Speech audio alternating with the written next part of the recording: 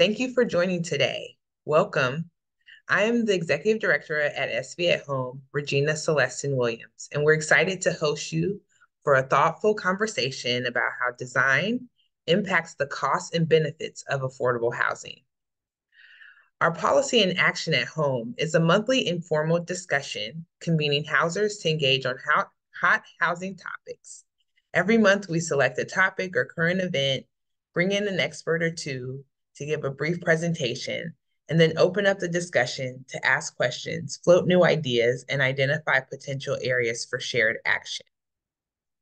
Before we begin, I would like to acknowledge the traditional, ancestral, unceded territory of the Muwekma Ohlone, Ramaytush Ohlone, Tamien Nation, and Amah Mutsun on which we are learning, working, and organizing today we are committed to honoring and making visible the indigenous people and tribes that were intentionally displaced from their land, who remain here in Silicon Valley and are a part of our community.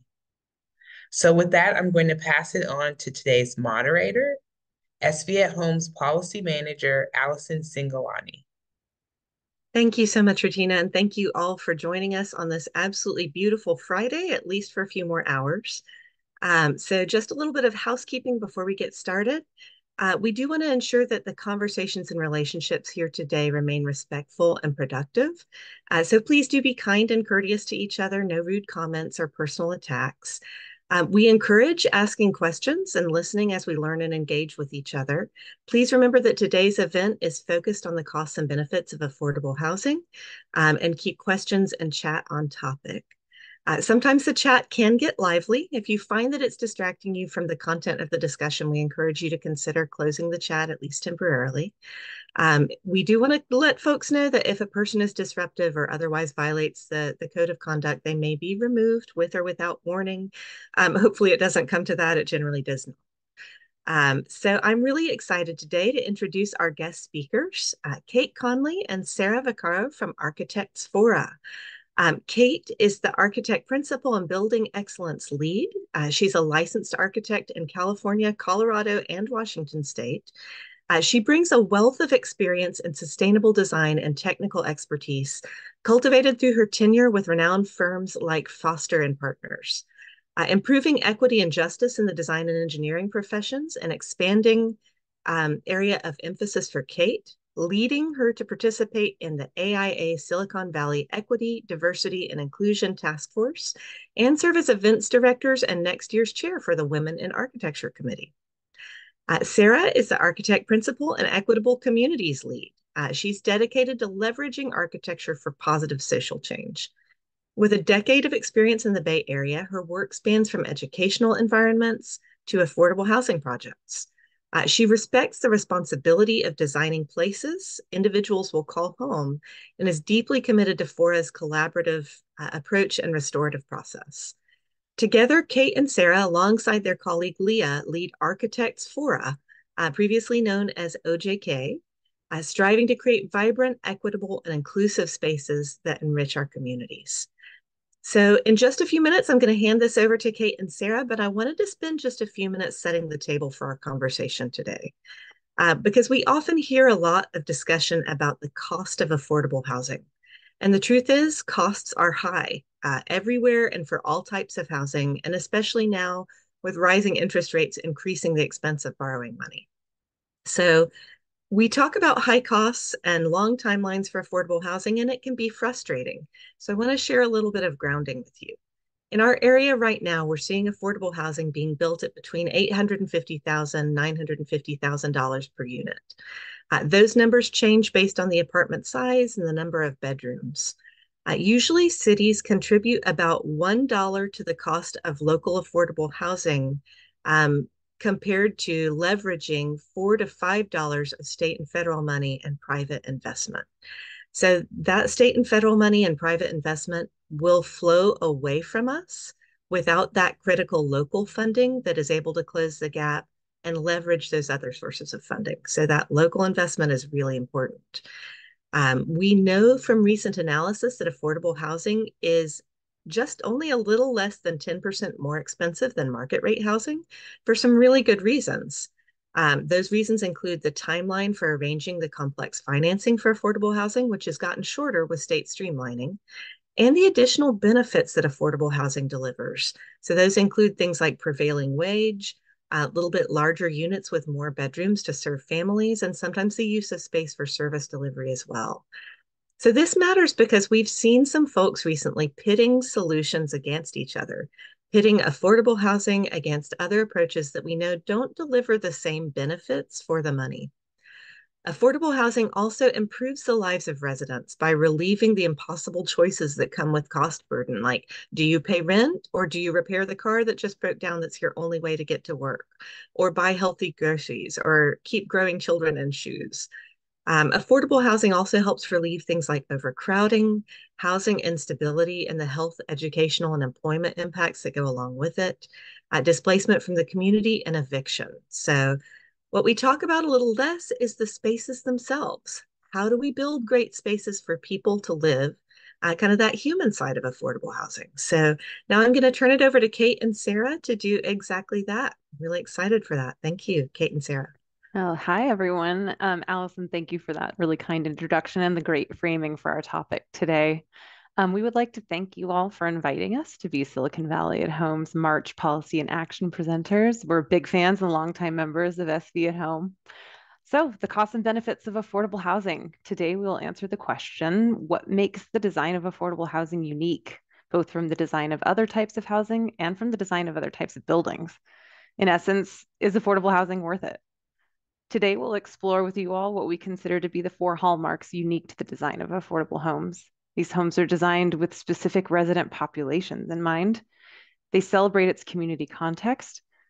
They are the first line of defense against our housing crisis and the market forces driving it. And they reach a higher echelon of durability, sustainability, connectivity, and accessibility. Next slide, please. The first defining aspect of designing affordable homes is that they're designed for specific populations or groups of residents to a far greater extent than market rate housing. Next. Affordable housing serves a range of lower income households as well as specific vulnerable populations. There are these are populations who are vulnerable to being rent burdened, i.e., paying more than 30% of their gross household income on rent, or vulnerable to being displaced from their housing, or populations who are currently experiencing homelessness.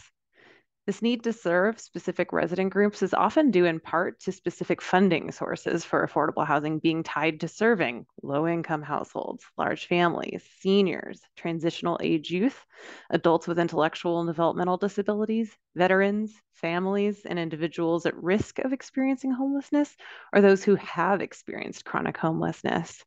So these are, next slide, please. These are residents who are critically important to the diversity, health, and thriving of our communities. Yet, the market driven housing economy does not provide affordable or supportive housing options for them.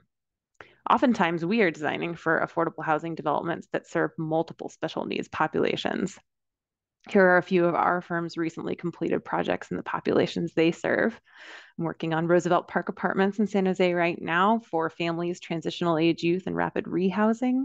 And Sarah just got TCO on Ozare Apartments, which is now renamed to Solaire Apartments. And that is a combination permanent supportive housing and low income housing development as well.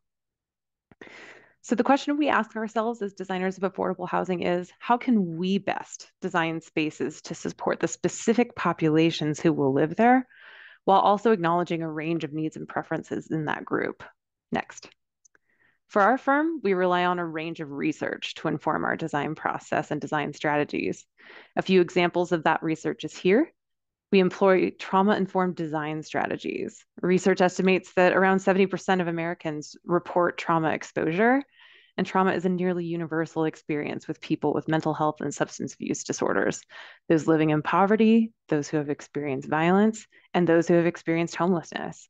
Many of the very people who are likely to be served by shelters, supportive housing, and affordable housing.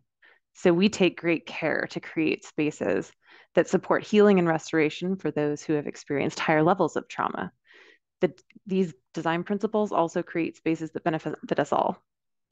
We design for inclusion based on the housing design standards for accessibility and inclusion by the Kelsey to create spaces that serve people with all abilities, allowing them to easily navigate and feel at home. We utilize a design process centered on the human and resident experience, designing through a lens of empathy and improving the quality of life for our future residents, backed by research on how humans experience and interact with the spaces around them.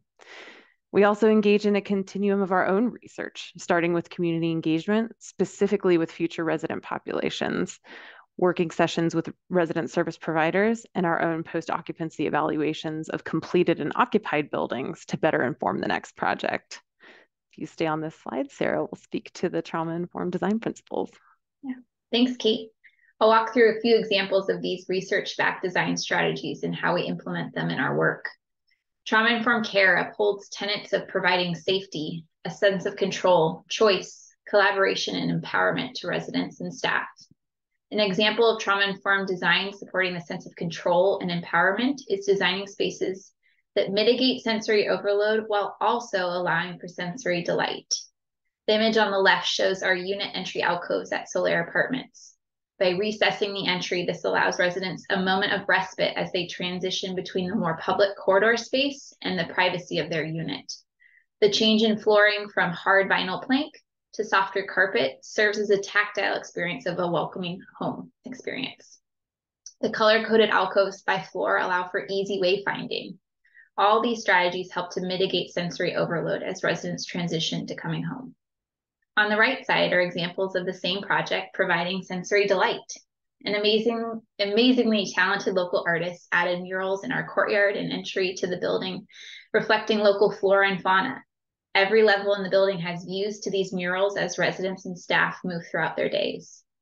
Other strategies of sensory delight include providing views to nature, access to fresh air, quieter spaces for respite, as well as more active spaces for community building. Next slide. Another trauma-informed design principle is to create opp opportunities for visual connection to safety, for safety and calming. We design entry experiences that allow residents to visually see ahead into the space so they can decide if they want to interact with the people that are already in that room or choose to go another path. In the Solaire Apartments plan you see here, um, we have prioritized views from the front desk and staff offices to the lobby, to the front door, into the community room, to the community room kitchen, so that they can keep an eye on these spaces, which in turn allows them to make them more available for residents to use. For residents, the visual connections allow them to see into the space before entering, um, just allowing them to have a, a, a better sense of comfort as they um, move throughout the building. If you'd like to learn more about trauma-informed design principles, I think somebody already shared in the chat, uh, chat box a great resource and we'll provide those links after. But there's a, a lot of up and coming research and data being collected on these principles. Next slide. As Kate mentioned, we are a committed organization to upholding and designing to the housing design standards for accessibility and inclusion by the Kelsey. The worksheet guide here on the left shows the impact areas, additional benefits, and level of design available for each element of the standard. An example of inclusive and universal design strategies includes creating natural, integrated, easy to understand wayfinding, wayfinding signage and decor that is usable for people of all abilities. The wayfinding graphic on the right for our Mitchell Park Place project integrates color coding and large numerical signage for residents. In addition, the number of vertical boards adjacent to that correspond with the floor number, providing a tactile wayfinding option in addition to visual cues. Next slide. When designing for people and residents of all abilities, it's important to provide different sensory experiences. Spaces that are quiet, lower light levels, less use of pattern and color can be sensory calming spaces. Spaces with more activity, visual interests can be sensory rich experiences and allow residents options to choose and use the space that best aligns with their needs. In Mitchell Park Place, we are able to provide a variety of sensory calming and stimulating spaces, including a sensory garden outside that has a range of tactile, smell, sound, and movement experiences, including the labyrinth in the floor ground and a swing beyond. If you'd like to learn more about the Kelsey and Housing Design Standard for Accessibility and Inclusion, we'll provide some resources and references there as well. Next slide. In our human experience design approach, we create personas to represent a range of future residents, then consider the lived experience of those resident personas in our design process, allowing us to design with understanding and empathy. This process starts with asking who are the people who live and work at Capitola 38th Avenue, for example. Then asking questions to better understand each person's persona's typical day. Consider how that person will move, how their day will start, how they'll move throughout the site, what will be their favorite outdoor space to use. Next slide.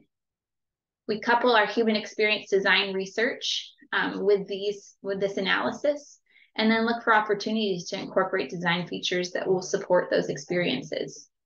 For example, when considering a couple living in a one bedroom apartment where demographic research shows that one person may work from home and need a home office, we can provide flexibility in the unit layout to accommodate a desk. At a site organization level, we map a day in the life of a resident persona moving across the site. The exercise can reveal opportunities to improve adjacencies between spaces, reinforce direct pathway connections, or simply yet uh, or simple yet important amenities like parking for a wagon near the parking lot so residents have an easy way to bring their groceries home from the car. The goal of layering human experience design process into our projects is to find more meaningful ways to improve the design of a unit, a home, a common area, circulation, and site organization to better support the future residents, future resident populations who will call this project home. Next slide. Continuing on to the topic of common areas or amenity spaces, our projects have community rooms and outdoor spaces for people to gather and entertain outside of their units. While similar types of spaces are included in market rate multifamily housing developments as well, in affordable housing, we also couple these spaces with resident service providers who provide programming to bring these spaces to life. Um, these are programs that support community building, life skills training, after school programs, and financial stability. More, more successful common areas remain flexible while also providing furniture and specific uses for the different areas. Oftentimes co-locating or layering these spaces and uses to add to a vibrant community feeling. The common area on the left provides dedicated computer workstations along the wall, as well as comfortable seating areas and direct connection to the exterior courtyards beyond. Next slide. In our large family developments, it's important to design safe spaces for younger children to play and other age appropriate spaces for school age children to hang out, all allowing parents to places for that, uh, all allowing parents to have clear visual connections to those spaces for supervision. For our Woodside Road project in Redwood City, the building wraps around a multi-level exterior courtyard with the laundry room overlooking the playground and the community room opening up to a quieter outdoor space based on input from the resident services staff early in our design process. We were able to move the computer lab and meeting rooms down to the first floor adjacent to the staff offices so that they could easily supervise those spaces and in turn keep them more open and available to the residents. Next slide. For many of our affordable housing projects, there are a number of resident service provider organizations supporting the residents providing case management, access to healthcare, employment opportunities, life skills, and financial support training. These service providers are typically on site with offices and meet with residents regularly. In permanent supportive housing for residents transitioning out of homelessness or other special needs populations, these residential service providers are critically important to supporting residents through the transition of being becoming housed and ultimately staying stably housed. The list on the left here are four organizations supporting our residents at IMAC Village in downtown San Jose. The plan on the right shows a suite of property management and resident services offices adjacent to the lobby and community room of another San Jose project.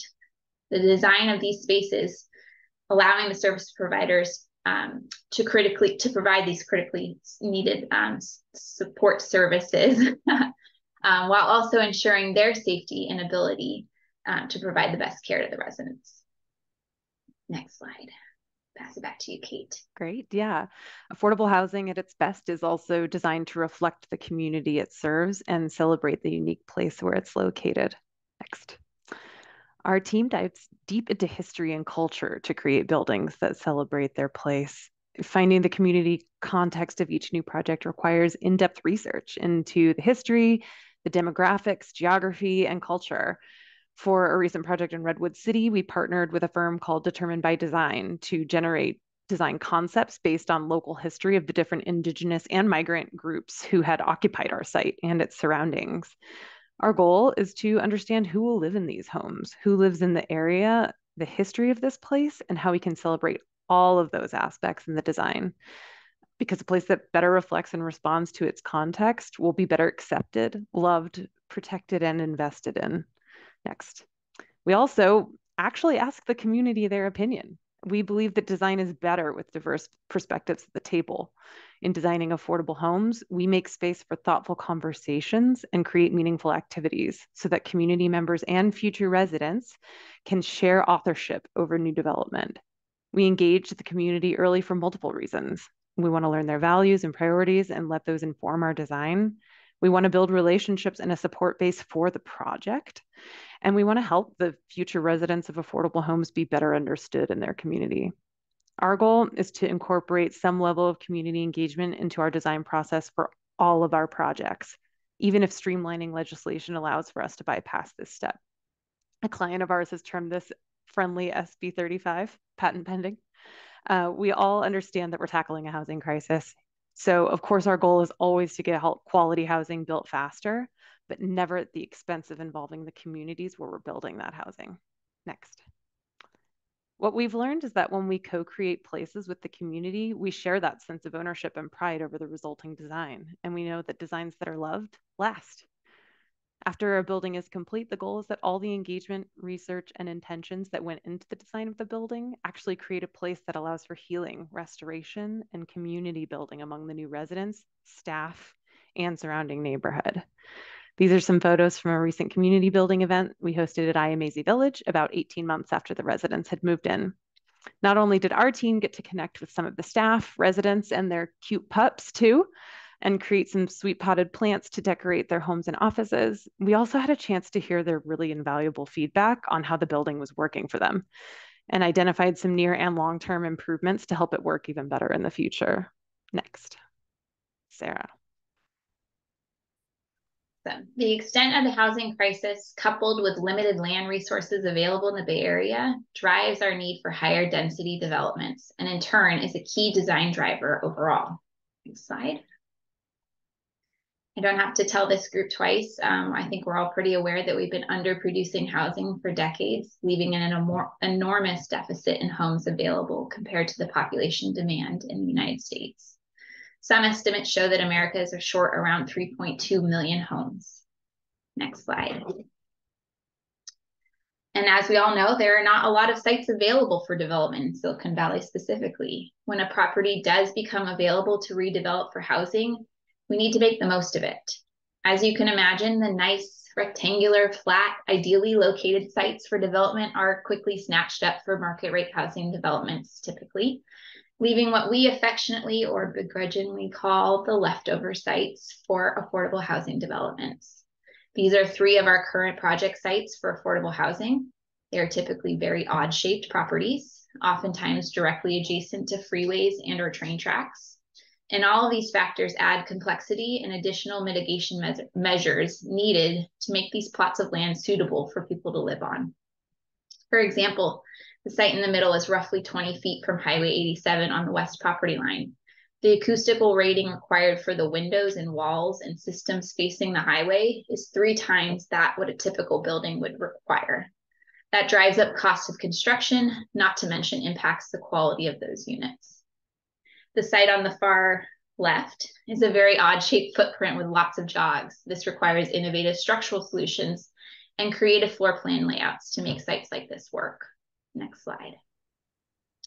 Our challenge as designers is to evaluate how many homes we can accommodate on the site within the constraints of the zoning code in a cost-effective manner so that the project is competitive for financing and to create a quality place for people to call home. This is an example of three fit studies for a group of sites in Santa Barbara, evaluating a different number of housing units in each, different housing typologies in each, and how they could fit in with the surrounding neighborhood context.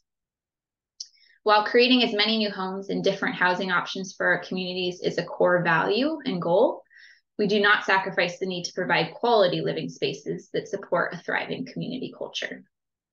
Next slide. All of this to set the stage for the main question we often hear. If it's affordable housing, why does it cost so much? And that kind of comes down to a couple of competing interests. Um, there are a few different forces at play here. First, affordable housing is financed through government subsidies at the federal, state, and local levels. All of these have unique sets of requirements that come with them. They require minimum sizes of units and mix of unit types, one bedrooms, two bedrooms, three bedrooms, etc. They require common areas and certain percentages of the units to be fully accessible to people of different abilities. They require a minimum of support spaces to be included in the development. They require higher thresholds for quality of construction than other project types. And there are often labor requirements for prevailing wages, diversified the workforce, etc. Finally, they're required to they are required they require the housing to maintain maintain affordability rental rates for residents for a minimum of 55 years. These are really good requirements to create quality, safe, just housing and employment opportunities, and they come at a higher cost. On the other side of this equation, these funding streams are extremely competitive and projects that keep their cost per unit as low as possible are more competitive to receive funding awards. That requires us to get really creative. We need to maximize the units to provide a cost competitive um, per unit rate. The units need to be an efficient size while also meeting greater clearance requirements for accessibility the need for resident support services on site is real. We talked about that already and requires additional space within the building. We also need higher levels of safety and security oftentimes in our projects. Higher density buildings require more complicated construction types and contractors with skilled labor workforces.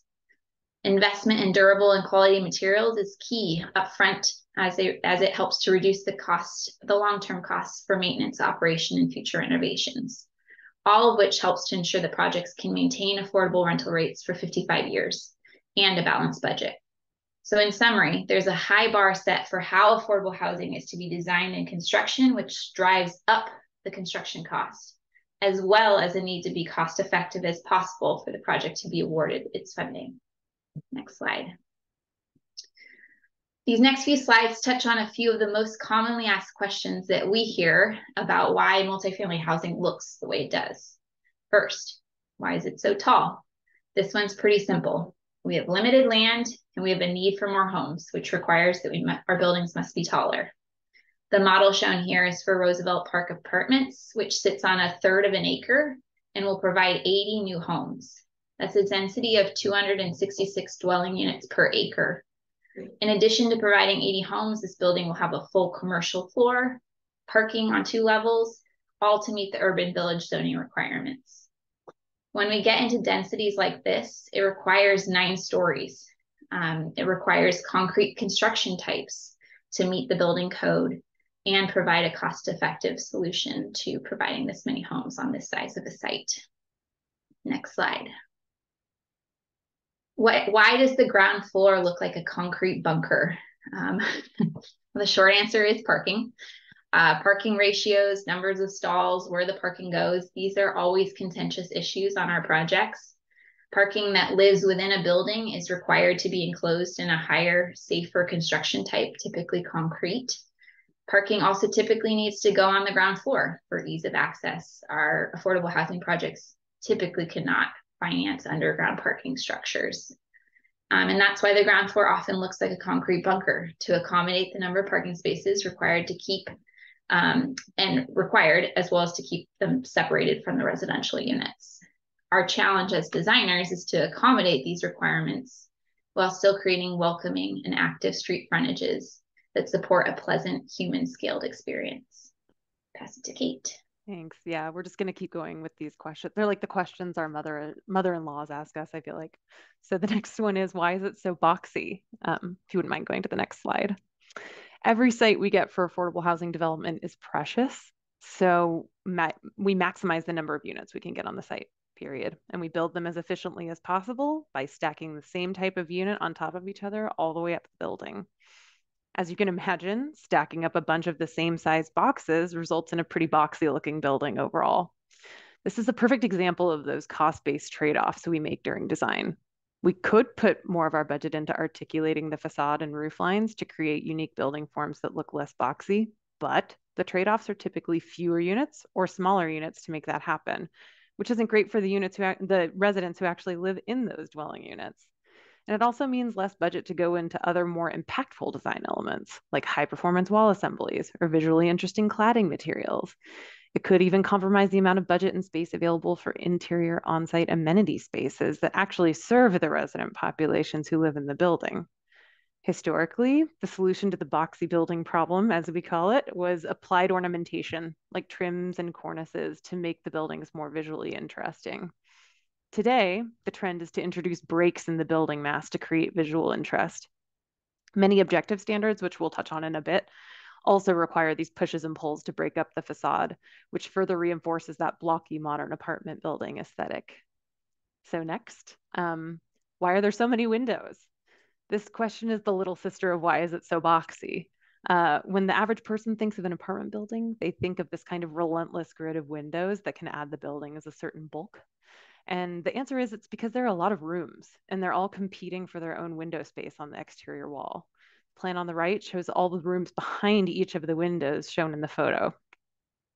Each bedroom is required to have a window to the outside, and living rooms, while they don't technically require one, also, I think we can agree, definitely benefit from a window as well. And in our typical unit plans, the living room window also lends light to the kitchen behind it. And the structure and ventilation between those windows also generally wants to line up vertically to work efficiently and have all the required clearances. You wouldn't want your bathroom exhaust smells floating back in through your bedroom window, right? So you get locked into that typical grid pattern. There's sometimes a bit of staggering you can do, like we did on the building on the previous slide, but that adds complexity, which adds, you guessed it, cost. So we tend to do this judiciously and really only on the highly visible facades. Next slide. Uh, do the residents have any privacy? Uh, sometimes when we're working on one of those awkwardly shaped sites Sarah mentioned, we'll end up with some pretty tight courtyards. And so we need to get creative about how we maintain our residents' privacy. We'll introduce angled fin walls like the ones you see here, or we'll make sure to offset or stagger windows that face each other so no one's view is of someone else's apartment window. Many cities also require us to actually do view studies from the apartments in our proposed development to the homes surrounding them too. And inside the building, we're continuously refining the way our walls are built to provide good acoustic separation between units. And that's through a combination of code requirements, performance testing, and making sure that we have acousticians on the design team. Next slide. This is my favorite one. Why are all new buildings covered in rectangles? You're talking about what we refer to in our industry as a rain screen. These panels are, yes, usually rectangular, um, and they get attached to the building with um, metal pieces that create an air gap behind it. This system can help us create a building envelope with better thermal performance, which reduces the amount of energy then needed to heat and cool the building. It also provides a visual contrast to stucco. Stucco or cement plaster is the least expensive, yet wonderfully fire resistant way to clad a multifamily apartment building but most cities in the Bay Area require more than one exterior material to be used on the building for visual interest, which, in all honesty, that was probably created mostly in response to the building industry's deep love affair with stucco. So rain screens are a great way and relatively cost efficient and high performance way to introduce variety to the facade. In this picture of Lee Avenue Senior Apartments, the stair tower and back buildings are stucco while the volume on the corner is clad in a rain screen system. Next slide. Why do they all look the same? We feel you on this one. as much as we strive for each and every one of our buildings to be a unique reflection of place, you can see we're playing by a lot of rules and very practical design constraints already. And then another set of rules to layer on top of that are the objective standards or form based codes, which many Bay Area cities have adopted in response to ministerial or streamlining requirements, especially for affordable housing developments. We are actually big fans of objective standards because they are a benefit in terms of expediting approvals and because they create a clear set of rules for us to play by when we're working with our friends at the planning department to get our projects entitled quickly. But we do agree that these standards or the resulting designs if they don't respond to the context of the place and the people of that community, then they can lead to a homogeneous looking end result. This is a big reason why we take the time to do community engagement and understand who and where we're designing for. And market rate developments are a for sale product, so they can fall victim to the assembly lineization of design that make take the letter of standards like this and simply move on. Sarah. Thanks, Kate. I know we're we've been going for a while. Silicon Valley home team. Do you want us to pause here? We just have a handful more slides, or we can pause. Sarah, no, I think you're just fine. Um, really enjoying it. Keep on going. We'll wrap up in the next few. Um, wanted to close with a few notes about how affordable housing design is durable, sustainable, connected, and accessible. Next slide. We employ a range of strategies to create high quality and durable buildings. Remember, our clients will own and operate these buildings for 55 years, ensuring affordable rental rates to the residents. This means the maintenance and operational costs need to be balanced with lower rental income and all work out to a balanced budget in the end. Examples of these durability strategies include specifying exterior materials that have integral color and don't require being repainted every few years, simply cleaned. On the interior, we specify durable flooring materials that are easy to maintain and repair or replace if they get damaged. Simple but impactful strategies like installing wood trim or corner guards along corner corridor corners that protect the walls from getting dinged up help the build, building look nicer in the long term and are much easier to replace than redoing wall finish. Next slide. Affordable housing design is sustainable and resilient. Our nonprofit housing developer clients own and operate these buildings for the long term. They deeply care about the residents and providing affordable housing solutions, which includes keeping utility costs at a reasonable rate. For this reason, we invest in energy efficient building envelopes as well as building systems such as heating and cooling, lighting, and efficient plumbing to reduce energy utility costs for residents. We acknowledge these buildings are for are our residents' home. Um, they are the place of refuge in the event of a natural disaster and it's becoming ever more apparent that we need to provide layers of resiliency measures in our buildings to support extended power outages.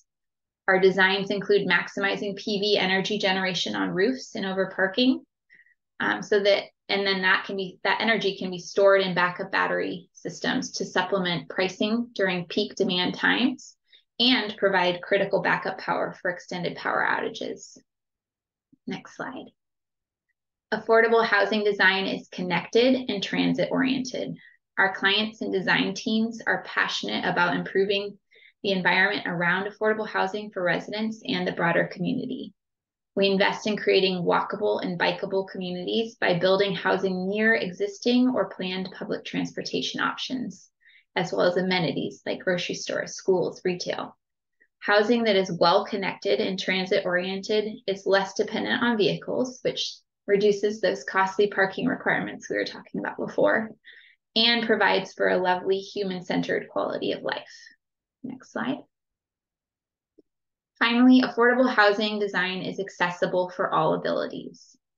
Uh, our housing receives public funding and serves a wide range of people and is required to meet accessibility needs for people with different mobility and communication abilities. Inside the units, this means providing enough clearances at appliances, around doors, around furniture to maneuver if somebody's wheelchair bound. In a building, it's providing elevator access to all floors and common areas, as well as tactile signage and audible warnings for those with visual impairments or who are hard of hearing. In our practice, we include a special focus on incorporating inclusive and universal design strategies so people of all abilities can thrive. Oftentimes, these are low cost strategies that just require a thoughtful design process, such as clear wayfinding and considering different sensory experiences in a space. Pass to you, Kate. Thanks. So, to summarize, what makes affordable housing design so different from the design of other housing types like it? It centers around people who will live and work there. It reflects its community context and supports community building.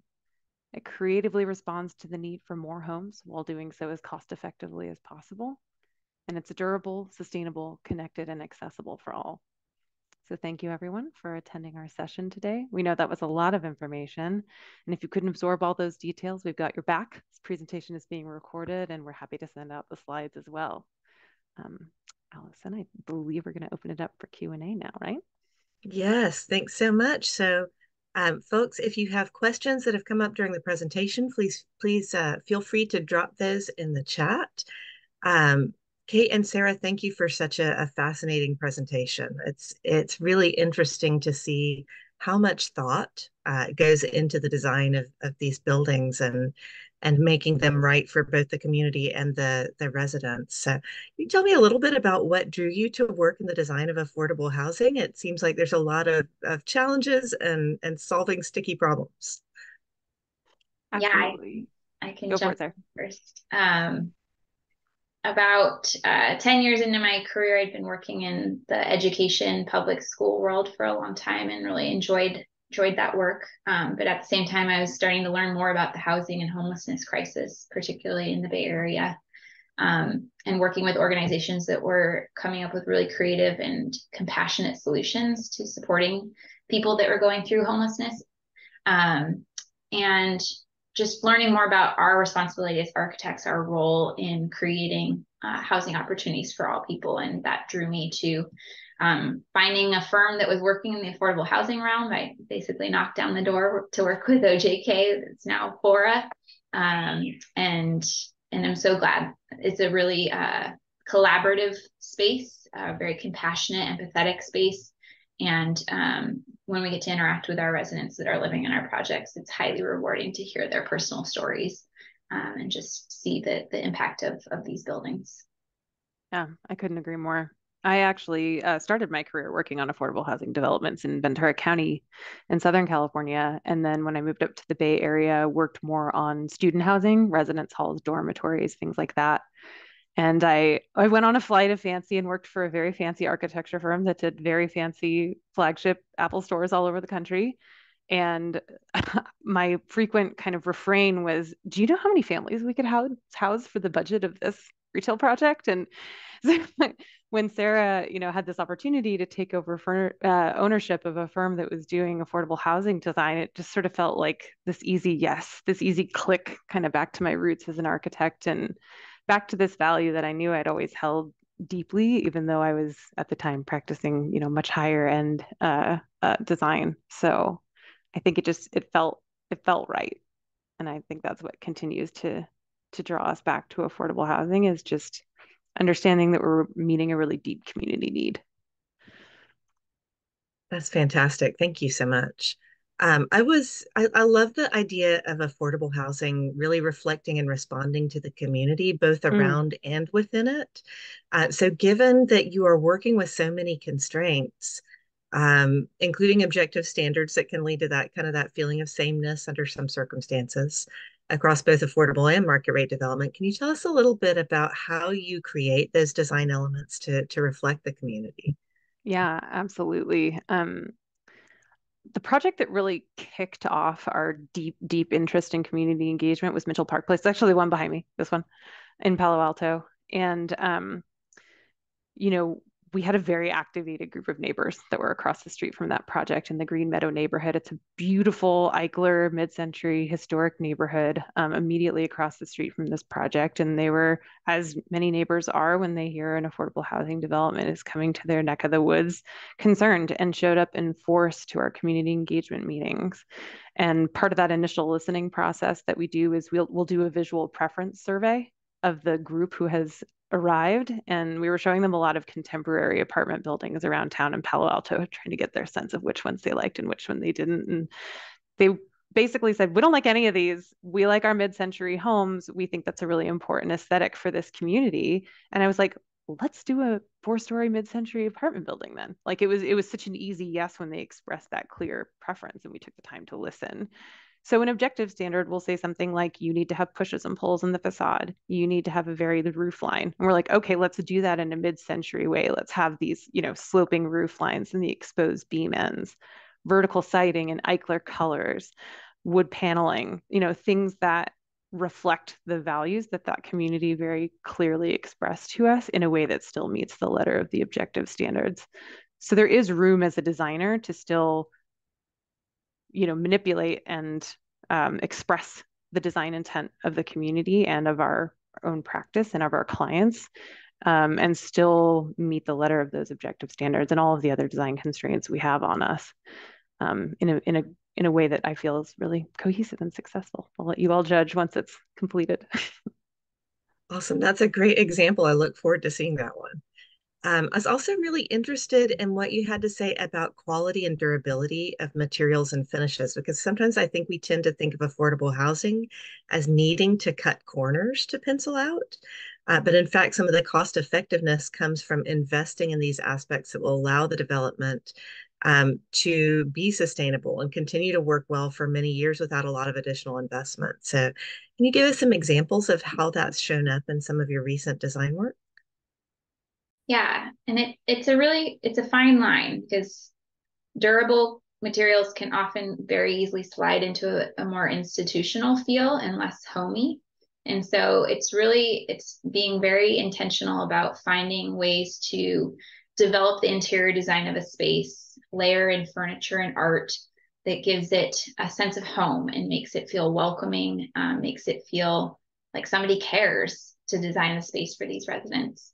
And um, in turn, that generally inspires residents to take care of the space more carefully, to um, to to not to not um, damage things as much. And so, um, by investing a little bit more in the quality and character of the space, it inspires people to take care of it and protect it better, which increases the long term durability um, and just quality of the space.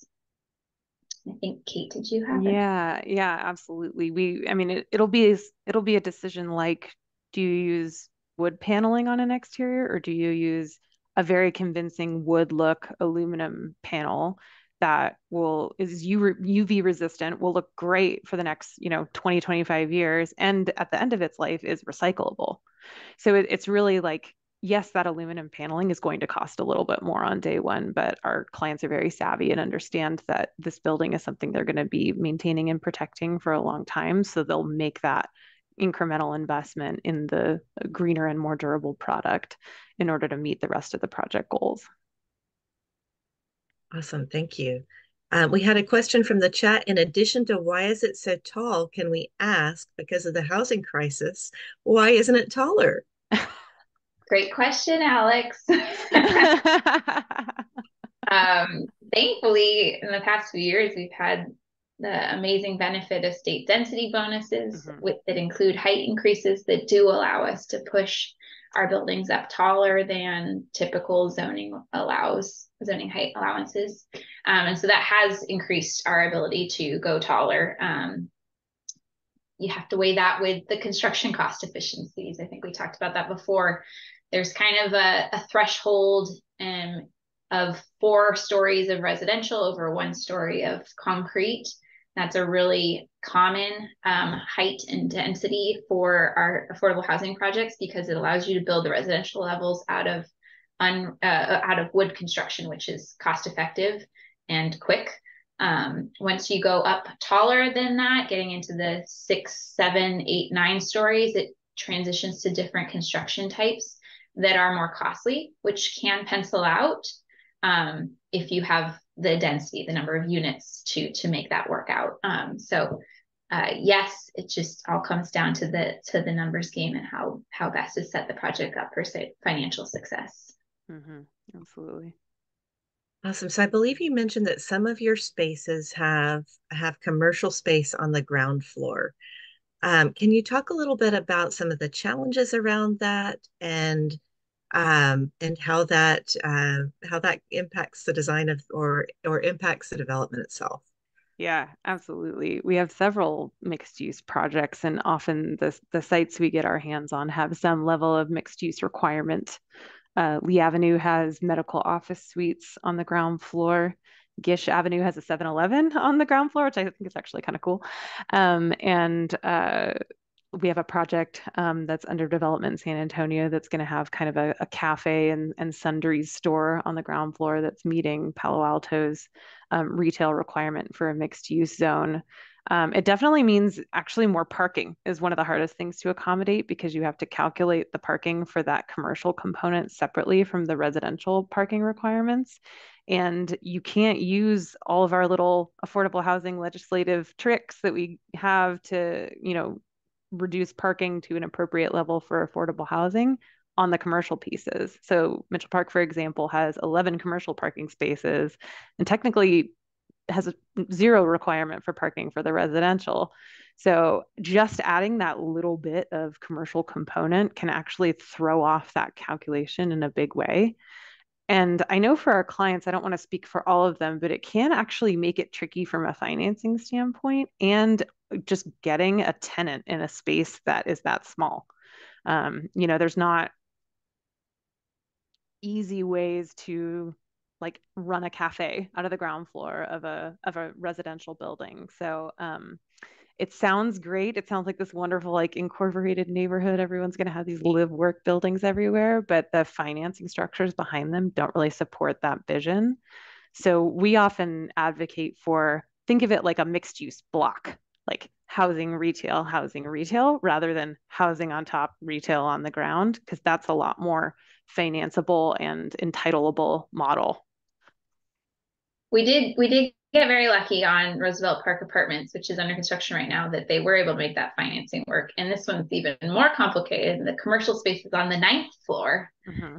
the housing is below and then the parking on the ground floors um, and that gets really complicated because you need to have separate vertical circulation elevator stairs that bring people up to the ninth floor commercial separate, space. Separate trash chutes. Stru- separate trash. All of it um, separated. So it adds complexity, but it to to your point, it, it adds a lot of vibrancy to a project. So where we are able to integrate some amount of commercial or mixed use components, um, we do believe that that that makes for a richer community culture around our housing. Awesome, thank you.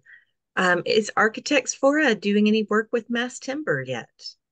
We would love to. We were literally just talking about mass timber an hour ago. I'm not even joking. Um, that one is another one where you have to be at the right threshold of height and size to make it work out financing wise. It's actually kind of more competitive with concrete models than like type 5A. So it's not a great replacement for that like four over one ratio that Sarah was talking about. It really pencils out better we've heard when you get into the taller building types. Um, and we have not had many projects that are in zones that will let us go that tall or in areas that have a demand for that many units on one site. That said, we would love to work on a mass timber building. So call us if you've got one. awesome. Have you designed any spaces for licensed childcare in developments? Yes. I have one that's about to start construction right now. Um, we actually partnered with Catalyze SV a year ago to present on um, designing for women and children, and that's a, that's a, a passion area of ours, being a woman led organization. Um, so we have a project. It's called Grace Village, uh, partnering with a local nonprofit organization called CityTeam. Um, they have a residential support service um, space for women. Um, sorry, I'm sorry, it's a residential living environment for women who are uh, transitioning out of homelessness or recovering from substance abuse or uh, exiting out of incarceration. Um, and it's it's a village of apartment buildings, and what they need is the support services spaces that will couple with those um, apartment buildings to provide a holistic approach to caring for for these women and children. That building will have classroom spaces for career training, life skills training, um, just community building. It will have a child care center, licensed child care center for young children who live on site. Um, and so that'll, I think, provide for about 25 children to be cared for at a time. It has indoor spaces as well as the corresponding outdoor spaces dedicated for them. And then the project also has a space, a hangout space and tutoring area for school age children as well. It's a really, really fun project. Excited that it's finally underway. That's awesome. This is so exciting. Thank you both so much, um, Kate and Sarah, for sharing with us uh, more about all the decisions that go into um, affordable housing and all the benefits that it delivers to the community. I really appreciate that. So um, we'll have someone on our team uh, drop a little link in the chat to learn more about Architects Fora's teamwork, uh, team and work. Uh, and we're going to segue into a little bit of wrapping up here. So um, you've heard a lot today about the value of affordable housing and some of the benefits that it delivers both to residents and our, our communities. So right now in San Jose, our affordable housing pipeline, um, the, de the developments that are ready to go, um, those are at risk. We know that right now we have at least 13 developments representing 1,527 new affordable homes that are not receiving funds from the city uh, to close that last financing gap and allow them to move forward. Uh, right now, the city of San Jose is working on its budget for the coming year. Uh, and some folks on the city council believe that we should shift all of the city's affordable housing funds to interim emergency shelter. So it's important to understand that if we do that, not only will we not get the permanent affordable housing that we so desperately need, uh, but we will create an environment of uncertainty for developers who won't be able uh, to stick around to see if the money comes back someday. They will have to go to other places where local funds do exist to help close that financing gap. So we really run the risk of losing all the money in San Jose that we have to build affordable housing. Uh, the city is invested really heavily in interim emergency shelters and needs to find a source of funding uh, to cover the substantial ongoing operating costs that come with that, but not one that diverts funding away from the affordable housing that we need so badly. Uh, so, if you believe that we need to invest in permanent affordable housing in San Jose as a critical part of the response uh, to both unsheltered homelessness and the housing needs of the city's other low income families and individuals, um, here is our ask get involved in the City of San Jose's budget process. Uh, this past Tuesday, Council provided direction to the city manager about what they would like to see in a proposed budget uh, and what they need more information on to be able to make the tough decisions about how to allocate resources. Uh, we'll see the city manager's proposed budget on May 1st, and then there will be a series of public meetings uh, as council considers that proposal and potential alternatives. So we will all have the chance to weigh in on what the final budget will look like uh, between May 1st and the time the budget is adopted on June 12th. So um, when we send the recording of this event to you, keep an eye out for it. This is really important. We're also going to send you talking points, a call script, a sample letter, and contact information for council members. They need to hear from each of us that preserving funds for permanent affordable housing uh, is really critical to meeting the needs of San Jose's residents. So please make sure you're keeping an eye out for that email. And, and thank you for, for getting involved and, and being engaged in this. Um, so now I'm going to pass it on to our Housing Planning and Production Associate, uh, Manuel uh, to share a little bit about membership with Home. Hey everyone. So at SV@Home, we believe everyone deserves a safe, stable home. Uh, and if you do too, we invite you to join us as a member. So when you join SV@Home together, we can build and sustain movement for affordable housing because we're stronger together. Uh, especially, uh, well, we're stronger together than we can ever be in isolation. So because you're so important to us, we want membership to be open and accessible to everyone. So there's not a minimum cost to join. Uh, feel free to pay whatever you can. Uh, really pay what you believe our work is worth. Uh, your membership helps support our work, including programs like Policy in Action, which you witnessed today. Uh, and you can find the link to join us in, in the chat, which Emily should be putting in our chat now. Um, together we can work towards solving the Bay Area's housing crisis, and I really do hope that you will consider joining SV@Home as a member. So thank you.